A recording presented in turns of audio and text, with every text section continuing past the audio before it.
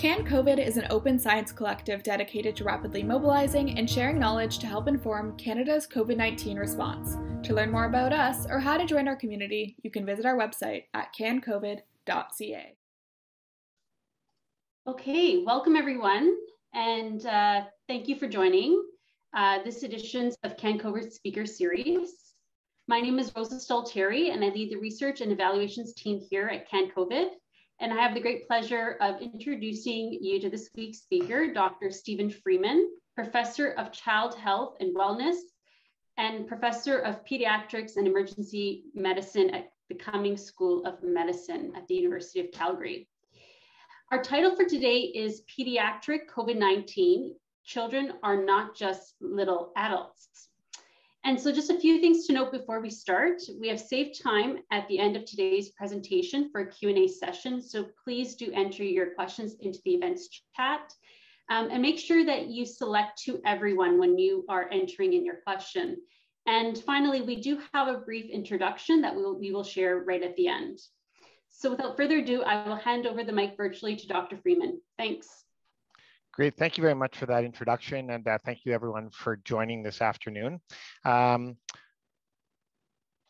so my two main objectives really today are just to give a little bit of a description of the epidemiology of SARS-CoV-2 infection in Canadian children and then I'm going to talk a little bit about um, a multinational study that I've been leading with several colleagues um, and focusing on two different sub-studies that we're currently working on, which are really looking at predictors of severe infections and outcomes in children, as well as the post-COVID condition, which has been a well-researched and a hot topic in the adult world, where we're starting to learn more about how it affects children as well.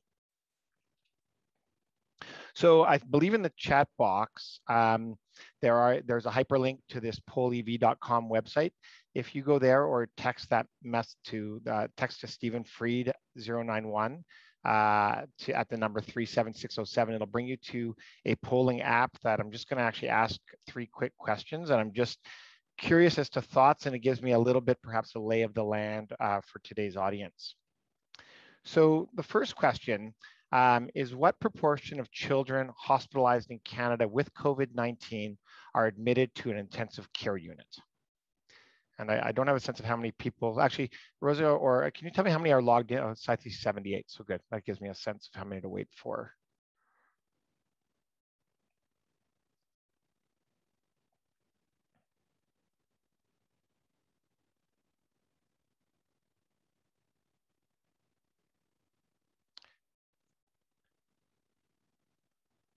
So just starting to stabilize there. It looks like still a little bit of movement. So one in 5%, oh, slowly creeping up, 5% seems to be kind of the leading guess at the moment with 1% uh, with very few thinking more.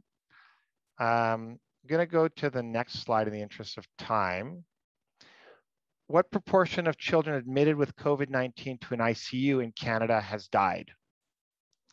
So what's the risk of death if you are a child admitted to an ICU with COVID-19 in Canada? And I apologize, one of the downsides of this app is it doesn't tell you how many respondents you have. So the breadth of the numbers here are from one to 10.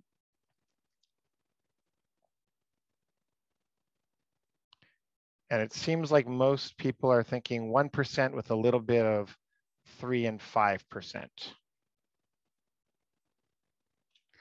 And then my last question is about you, the audience. Have you had any of the following symptoms in the last week of fatigue, headache, difficulty concentrating, forgetting to do something at home, abdominal pain, or cough?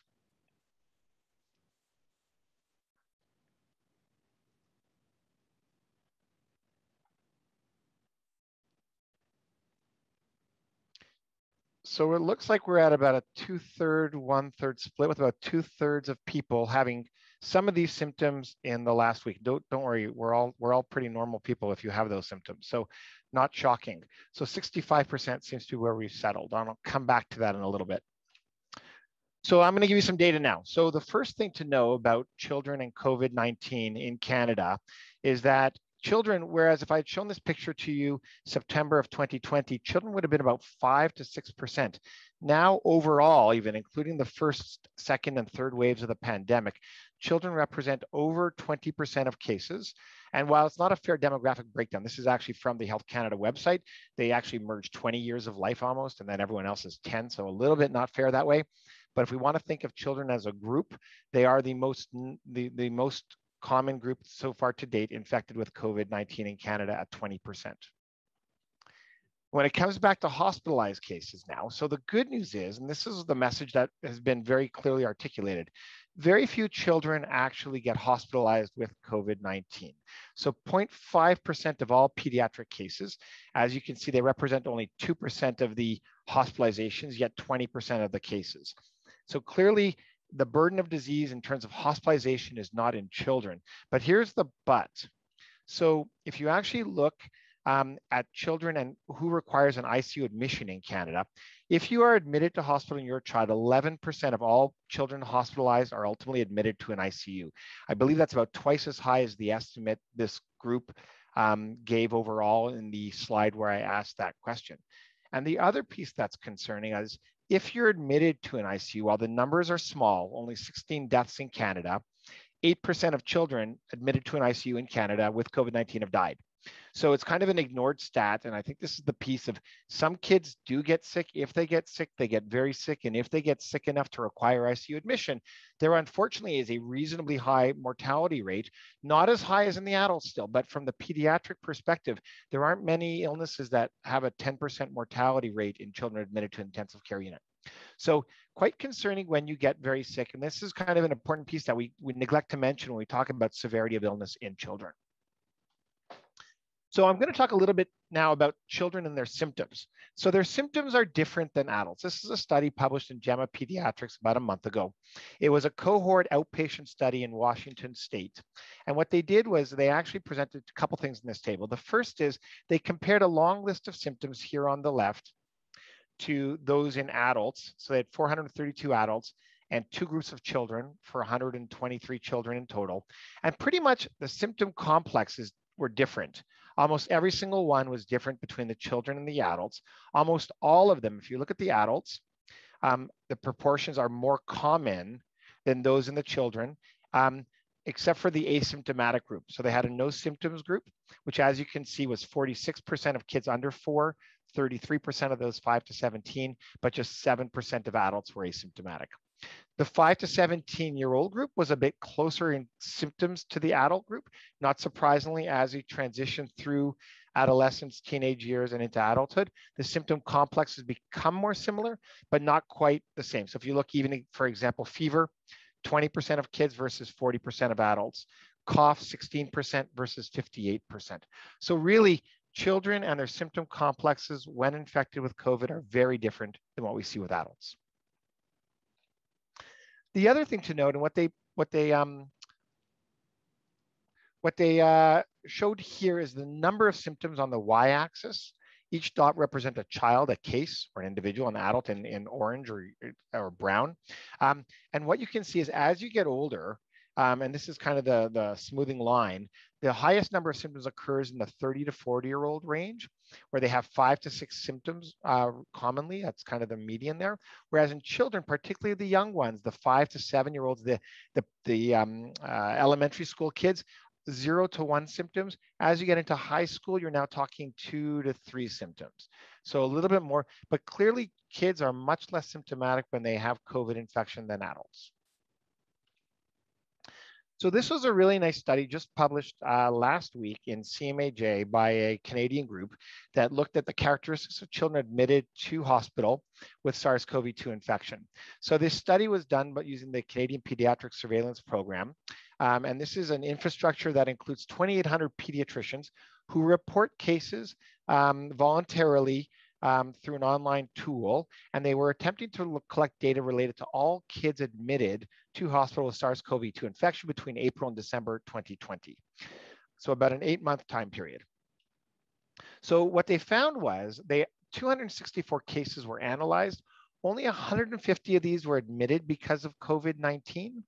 And then when you look a little bit further, 63 of these, so almost half of them were under a year of age, so a predominance of young children, but very few of them had severe illness. So the vast majority had mild to moderate illness. So about 70% were moderate, mild to moderate illness, and only about 30% had severe or critical illness. And even then, the definition of severe illness was respiratory distress or requiring supplemental oxygen, which could also just mean low flow oxygen or nasal prongs. So not necessarily what many clinicians would call severe or critical.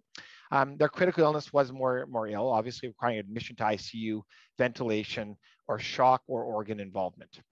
Um, when you looked at the severe illness and the critical illness groups, the older kids, which is quite different than most viruses in children, kids 1 to 18 were much more likely to have severe illness or critical illness compared to that infant cohort, which is a little bit unusual because when it comes to respiratory viruses, that's the group that is usually most unwell.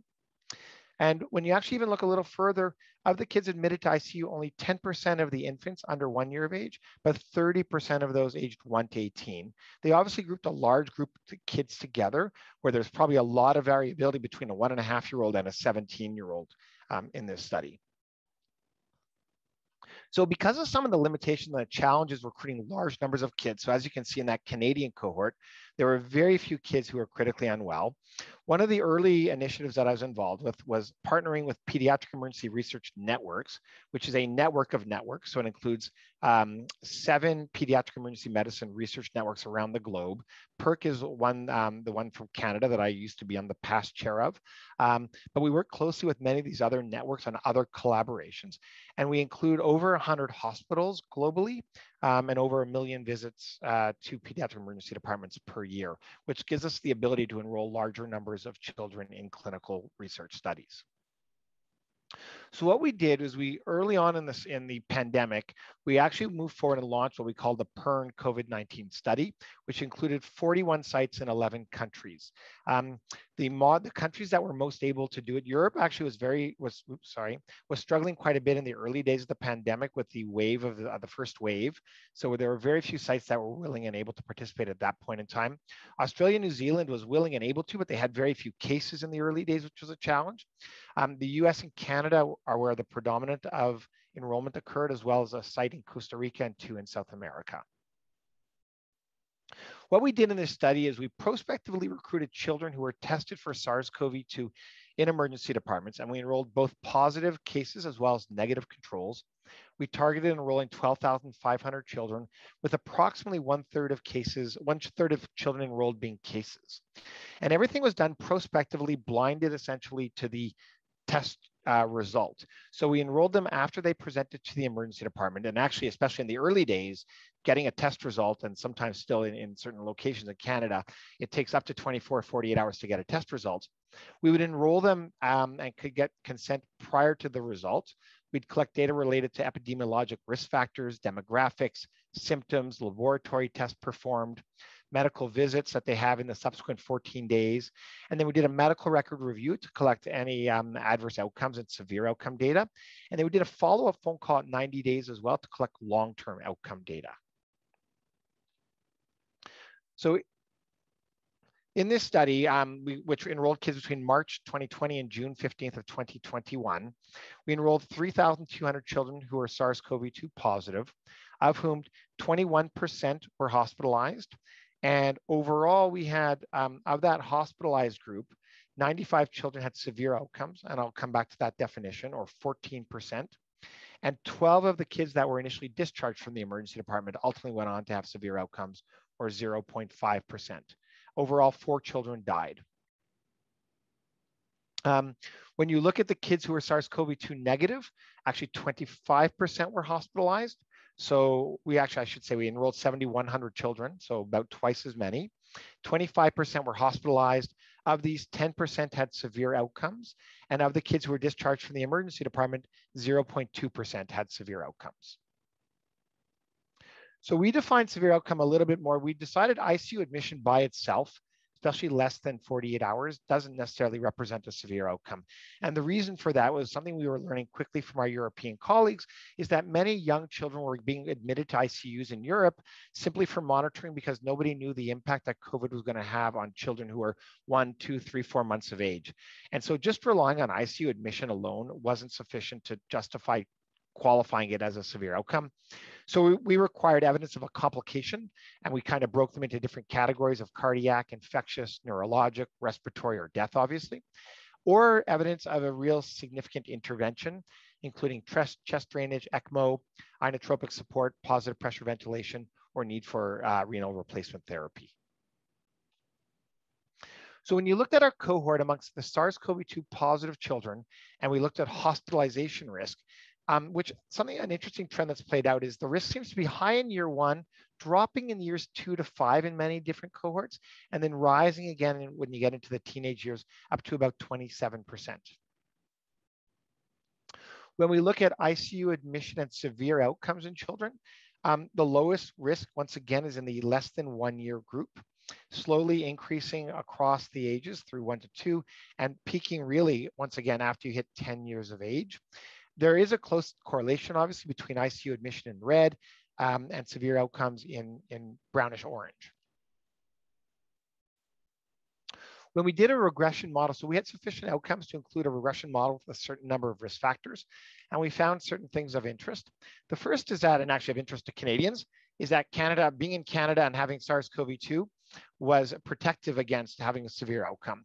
Um, I have some theories about that. We did enroll in Canada. We had in the first, second, and third waves um, we, we tested a lot of children in Canada relative to other countries, and we enrolled a lot of children, probably presumably who had somewhat milder illness, um, and we couldn't adjust for all those features in our model. On the other hand, being in Costa Rica had an increased risk of a severe outcome. When we looked across the age spectrum, what we see is essentially when you get into the five to 10 year and 10 to 18 year risk uh, age range, you have an increased risk of a severe outcome. As well, if you had a chronic disease, previous episode of pneumonia. And the other thing that's of interest that actually correlates with some of the findings in the adult sphere is that if you're sick for four to seven days, so more days of illness has a greater risk of a severe outcome. Um, it wasn't statistically significant with greater than equal to eight days, but that likely reflects our smaller sample size and number of events in that group of children. But if you look kind of, it is trending in that direction as well. Now, when we compare our severe outcomes amongst SARS-CoV-2 positive children to negative children. If we look overall, the positive children in red slightly higher. If you look in Canada, though, the negative children were slightly more likely to have an adverse or severe outcome, whereas in the United States, we actually found the same trend. But when we look amongst hospitalized children only, of note in the US, hospitalized children with SARS-CoV-2 were significantly more likely than children who are hospitalized with non-SARS-CoV-2 infection to have a severe outcome. And that was held true when we looked at children overall at all countries in the cohort. The difference in Canada did not achieve statistical significance amongst hospitalized children. So I'm going to move into talking now a little bit about long COVID um, and some of its impacts on children. So we, in our study, we included children enrolled through January 20, January 20th, 2021 to date. We defined um, uh, long COVID as persistent new or returning symptoms or health problems, and it's based on caregiver report at 90 days. And so one of the challenges with all of the definitions of long COVID is similar to the question I asked you before. Many people might report certain symptoms within the last period of time at any given point in time. And let's say I had COVID nine months, three months ago, and I tell you the last week I've been fatigued. Is that a new symptom? And does that make it into reporting as long COVID? And then why is it a new symptom? So the most of these surveys, including ours, don't tease out the etiology or justification or why someone or how strongly a symptom is correlated with long COVID.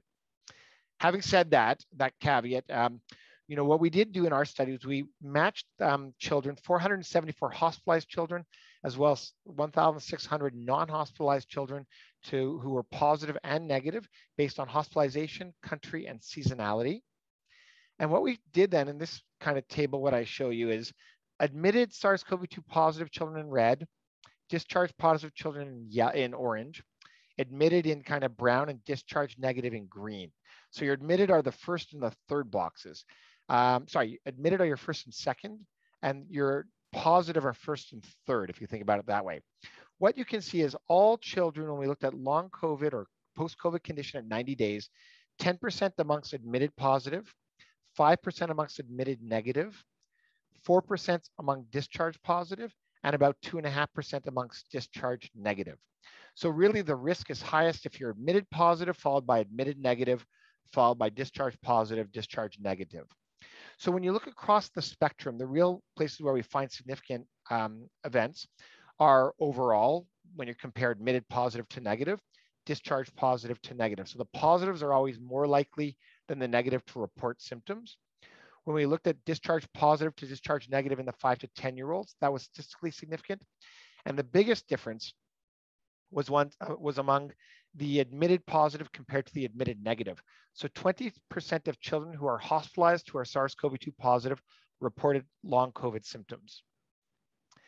And then when we look at the number of symptoms they report, much higher that they report seven or more uh, post-COVID symptoms at 90 days if they had seven or more symptoms at baseline. So this is the number of symptoms at baseline with respect to reporting post-COVID condition. So the more symptoms at baseline, the more likely you are to report the post-COVID condition. And what really stands out are amongst admitted positive kids in both the four to six as well as the seven or more symptom brackets.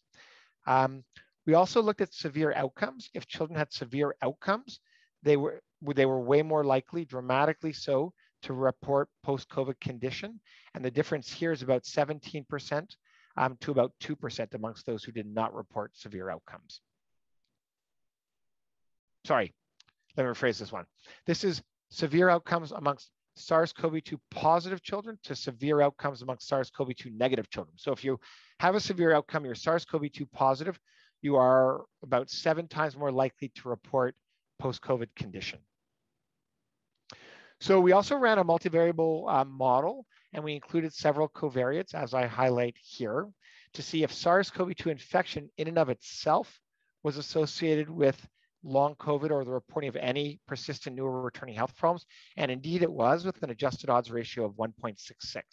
So even in the absence or adjusting for hospitalization, number of symptoms at baseline, age, sex, country of enrollment, we found it was significantly associated with a long COVID condition in children. We do have several studies ongoing, but in the interest of time, I won't go into them, but we are looking at household transmission dynamics in this kind of similar study design, except that's a true case control study. We actually have a pan-Canadian study that's only looking at Canadian sites, enrolling more children and focusing on the Delta wave. And then the most recent study we're about to launch is looking at buccal swab testing using a point of care testing device to see if that can screen asymptomatically infected children and if, if it's amenable for doing performance at home by caregivers. So in conclusion, I think COVID-19 has highlighted how children differ from adults in many ways, but the fact that children can become critically ill is often an understated fact, although uncommon overall. If you do get sick and quite sick with COVID, your risk of having an adverse outcome is significant. The post-COVID condition does occur in children, and there are many ongoing pediatric studies, and hopefully these will help still fill some of the knowledge gaps that are crucial to our understanding of COVID-19 in kids. I'd like to thank all of our partners as well as my many co-PIs and our leadership group for this study, and I'd be happy to answer any questions. Thank you so much, Dr. Freedman. Amazing presentation, and we have lots of questions in the chat box. Um, would it be possible if we go over a couple of minutes of 4.30 if, to answer most of the questions? Great. So let's start with the first one. Um, we have here, uh, what are some strategies that have been effective or could have been effective in helping children comply with public health measures who may experience lockdown fatigue in um, the first one to five years into the pandemic, what role can parents or caregivers play in, in encouraging adherence? Yeah, I mean, I think uh, there's a bunch of questions in there, I think, but I, I, think we are all experiencing pandemic fatigue. I think that is a real thing. Well, I'm, I'm tired of putting on my mask and wearing it for eight hours in the emergency department all day.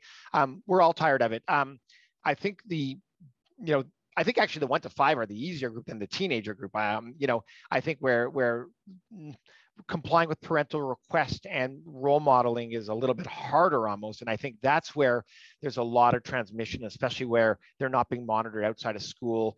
you know, where their the social need is immense and actually important and cannot be understated.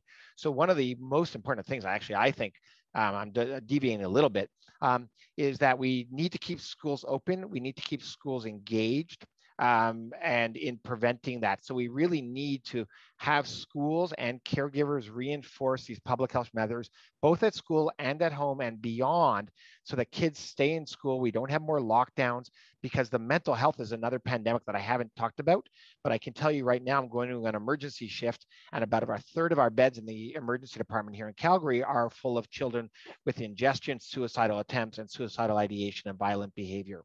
Um, and it is a huge pandemic that's being under um, underestimated. Um, but in the one to five year old group, I think the best thing that we can do is role model and be consistent. Um, you know, they kids kids view positive role modeling. You know, they see us wearing our masks, us hand sanitizing. If we're not having our friends over in the house and we're, you know, we're complying with recommendations, and every province differs a little bit right now, but really we if we don't want them to hang out with their friends without masks on in the house we can't hang out with our friends without masks on in the house house. And even beyond that we need to kind of go above and beyond. So i think you know to, to wrap that question up i think it's role modeling is the biggest thing that we can do and consistent messaging and the yo-yoing that some we have seen in some provinces is very hard where all of a sudden where life is normal now we can't do anything and life is normal we can't do anything. They have trouble understanding that i think. But i think with the proper messaging kids can comply quite well i think Yes, and our, our next question here is, if children's symptoms, uh, complex, uh, symptom complexes are different than adults, then what should we be looking for in infected children? Ch- children are sneaky, um, unfortunately, or SARS-CoV-2 infection in children is sneaky, and that's the problem. Um, and that's why, um, you know, I, I think to focus on one symptom is, as you saw in that earlier slide, um, although I did go through quickly, there's no one symptoms that's going to capture all of them. So children with SARS-CoV-2 infection are going to have lots of very mild symptoms is the most common thing. Um, and we need to, that's why, I mean, I've been a huge advocate um, of ongoing masking all kids, regardless of age, in public environments, in areas, especially, I'm in Alberta right now. So yeah, where, where COVID is rampant. And the only way to curtail its spread in those groups and then keep kids in preschool daycare is to use the public health measures we know are highly effective. That's why so few kids got sick in 2020. It's because public health measures prevented spreading kids. The other thing that I'm seeing a lot of, which is very concerning, is I see kids in the emergency department all the time who have been going to daycare and school with the symptoms that are on this list, um, and including fever, runny nose, cough, new onset stuff. So so there is no single symptom that would identify a kid with COVID. And there's actually a good study from Children's Hospital of Eastern Ontario showing that. So any of these symptoms really from my playbook require testing. And the one thing that you know there's a study that the uk for example really predicated testing on adult symptoms of anosmia. Those don't show up in kids. Um, i don't even know where it is on this one. So loss of smell taste. Here you go. Almost no kids get it. Um, so you can't rely on those symptoms we need very broad generic testing and um, ready access to it to be able to screen kids, keep kids who are sick out of milieux where they can spread it to others. And that is crucial to keeping the schools open. Thanks so much. And the next question here we have is what's the comorbidity um, of the children hospitalized, admitted in ICU and died?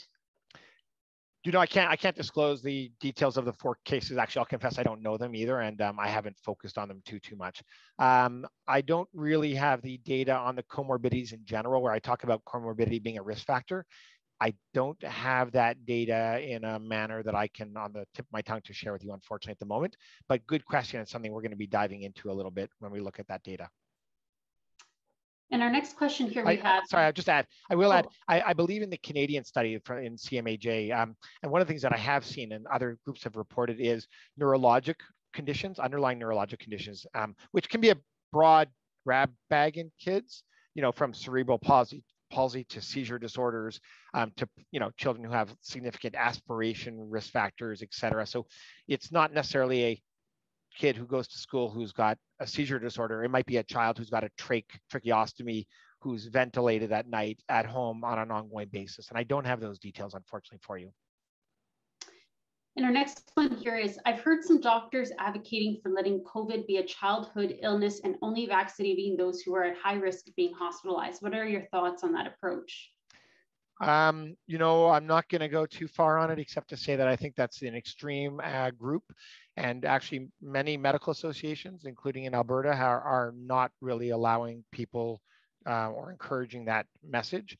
Um, it is really not founded solidly and uh, doesn't have a strong foundation. There are a couple things I'll mention about, you know, COVID. And so we talked about the severe outcomes a little bit. The other thing I didn't talk about is MIS-C, multisystem inflammatory syndrome of children. So incidence of 130, 100 children who get COVID get multisystem inflammatory syndrome. 50 to 60% of those kids end up in an intensive care unit. We do not want kids to get MIS-C. They can get coronary artery aneurysms. They are very sick they come in in shock. Um, and they actually have a reasonably high mortality rate overall as well. Um, there's long COVID, which I talked about, a little bit hard to still decipher, but all the studies are pointing to, towards kids with COVID having more complaints at 90 days or other periods of time compared to kids who are negative. Could there be a reporting bias? Are there some concerns? Possibly, but I don't think at this point in time we should say that it's a disease that we should allow widespread um, transmission.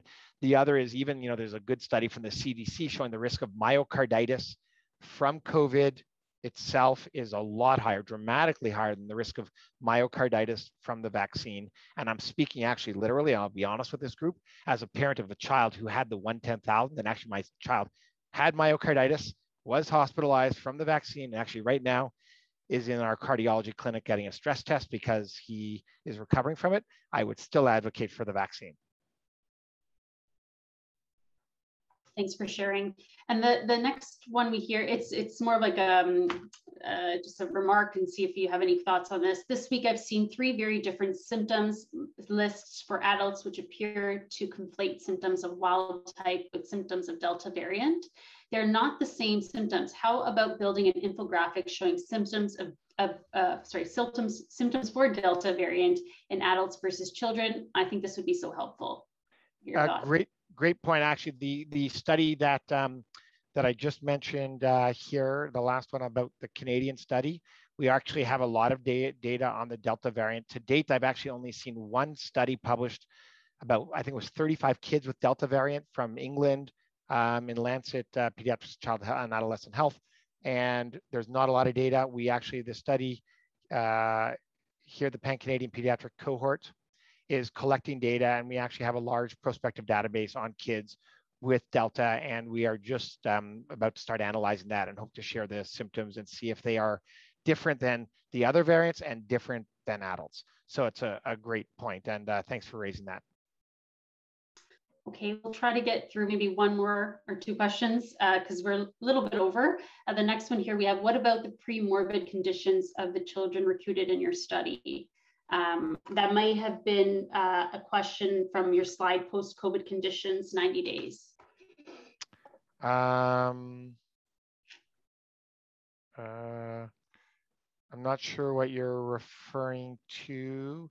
Um, in, yeah, sorry, I apologize. I'm not sure what the question is referring to.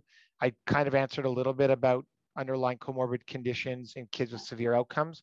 Um, there actually is not, I, I, do have some data on this, but I, I didn't present it today. Um, so I'm going to stay away from that at the moment as, as far as related to underlying comorbid conditions. Keeping in mind that's a very big grab bag, and that's why it's a tough one to, under, to analyze. It can include anything from asthma to, as I said, severe debilitating neurologic illness, um, and they're not all one and the same.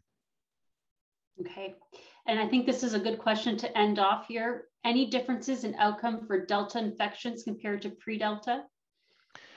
So not uh, not a lot. There have been two two studies that have reported, and actually there was another one just in CMAJ today, actually not pediatric specific, and I apologize, I, it, I haven't read it yet. It was um, by Dr. Fisman, um, showing uh, that the Delta variant, as well as some of the other variants, have higher morbidities uh, relative to the wild type and then the alpha and beta strains that, that followed. Um, there are two other studies that have shown similarly increased concerns related to adverse outcomes in kids associated with Delta.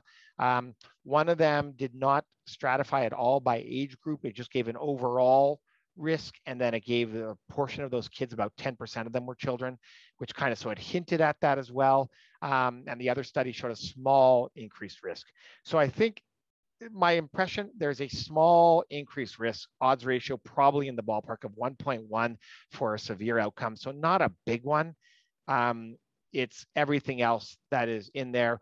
And you know i wanted to wrap up on and actually it's kind of you know i don't know why i'm wrapping up on this because i didn't talk about it but for those who talk about um, you know widespread covid the mental health of our kids the fear of covid the um, isolation the impact of school closures is huge. And so we as a society, I believe, owe it to our kids to have COVID under control through appropriate public health measures, which includes vaccination, et cetera, to keep our kids in school, allow them to have normal activities, whether it's hockey, skiing, lacrosse, soccer. Um, that is what our kids actually need because I think the biggest impact of this pandemic, we can talk about the acute illness, MIS-C, um, post-COVID condition, the mental health long-term impact on our kids is irreparable, um, and you can't go back and be a 12-year-old again. Um, so we really need to make sure our kids um, can has as normal life as they can, and that can occur with mass public health measures, appropriate things being done. Um, and that is way better than being in lockdown situations where we've been, and some of us continue to be on an ongoing rolling basis. So I think we need to do what we can um, as a community, as a healthcare community, to advocate um, amongst our adult colleagues who are often the ones filling up the ICU beds um, and causing a lot of the challenges in our society to get vaccinated and adhere to public health measures. Thank you so much, Dr. Freedman. And I just want to take the opportunity now on behalf of the CanCOVID team to extend our thanks uh, for this fantastic uh, presentation and very engaging one too. You see lots of uh, many thanks in the chat box there from our attendees as well. And of course, thank you to all our attendees for joining today. Um, just a few announcements quickly. Uh, next week's speaker series is on Tuesday from 4 to 4.30 Eastern Daylight Time, where we will hear from Doctors Graham Dickens, uh, Dickson and Bill Tholl. And the title of the presentation is Leadership During COVID-19. And again, details about all our events are on our website and will be included in this week's newsletter. And be sure to subscribe to our weekly newsletter if you haven't already done so, so you can stay up to date uh, about our events and other initiatives. Thanks again, Dr. Freedman, and thanks again to all our attendees for joining. Have a great day, everyone. Thank you, everyone. Great questions. We would like to thank our speakers and members of our network for their continued support and participation in Canada's pandemic response. If you are interested in learning more about CanCOVID or joining our Pan Canadian COVID 19 Research Network, please visit our website at www.cancovid.ca.